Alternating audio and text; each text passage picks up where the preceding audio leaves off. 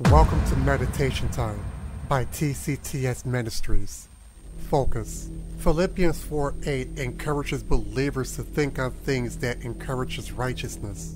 This doesn't necessarily mean that everything we watch, read, or listen to must be overly Christian in nature, but whatever things we are indulging into does not draw us to desire the righteousness of God or seek fellowship with other believers, then those other things does not pass the test of Philippians 4 8 taking this passage seriously may mean a huge change in our everyday consumptions, which begins with retooling our minds with God's Word.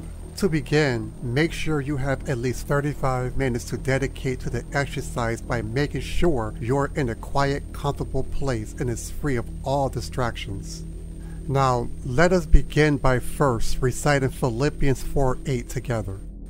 Whatsoever things are true, whatsoever things are honest, whatsoever things are just, whatsoever things are pure, whatsoever things are lovely, whatsoever things are of good report, if there be any virtue and if there be any praise, think on these things. The things talked about, for an instance, could be things like thinking about ways to give God praise, being nice to an enemy of yours, helping someone in need, thinking of ways to be of better service to God and others, applying the fruit of the Spirit to your life, or anything else which may bring honor to God.